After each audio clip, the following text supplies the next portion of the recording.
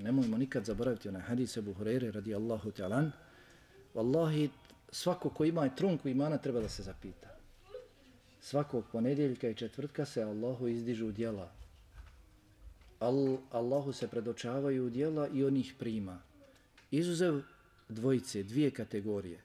Nevjernika, u hadisu je došlo mošrika, dakle nevjernika, i onih među kojima je zavada. Pa Allah kaže, ostavite ih hatta je staliha, hatta je staliha, hatta je staliha, tri puta ostavite ih sve dok se ne izmire.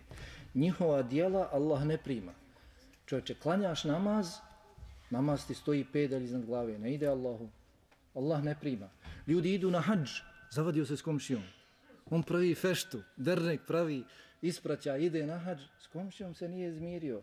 Obavlja, podučava se od šeja Safeta sve ono, i knjige, i CD-ove, predavanja, kako obaviti hađ, da mu hađ bude mebrur, da mu hađ bude makbul, i on se trudi, slomi tamo i trpi tam.